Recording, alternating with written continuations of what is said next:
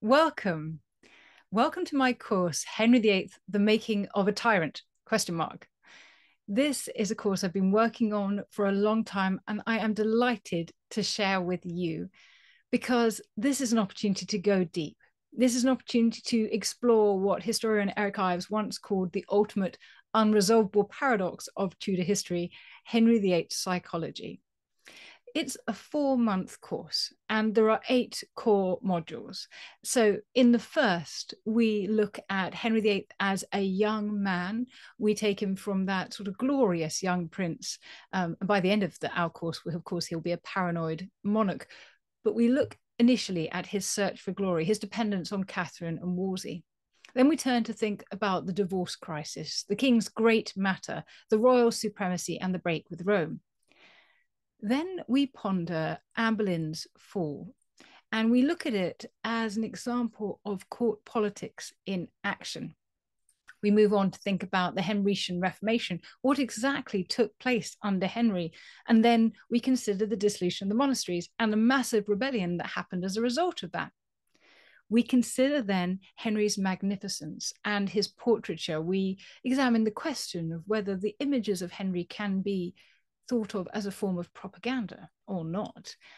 We look at literature and opposition to Henry, both literary, of course, and verbal, and we think about his savage response. Executions is the key word here. And then we also look at the last years of his life and his legacy. So those are the eight core modules, but then there's also a bonus module which examines Henry's posthumous reputation. We think about Henry VIII on film. Now, why me? Well, I've spent my career working on Henry VIII. I've written two books about him. I've written another one about the Tudor period more generally. I've made a number of documentaries for television about him. I'm a trustee at the Mary Rose. I used to be a curator at Hampton Court Palace.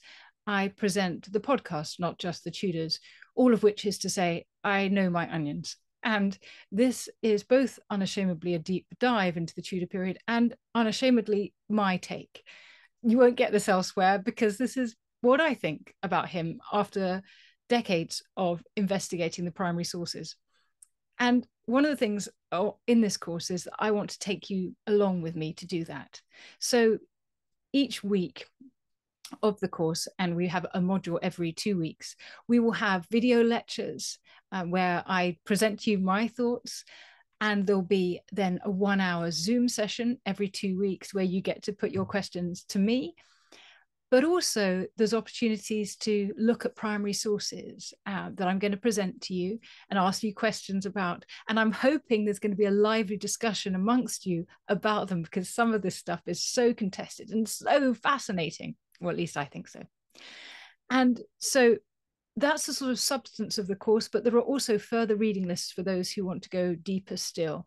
This is a substantial, but it's entirely up to you how much you join in. You might just want to watch the videos. You might want to watch the videos and, and come along to the Zoom sessions. You might want to do all of that and do the online exercises and read the primary sources. You might want to do all of that and do more reading. It's up to you. It's your course, or at least I hope it will be. I hope you'll join me to explore the question of whether Henry VIII became a tyrant. And if you think it's a yes no answer, then you clearly have to do the course.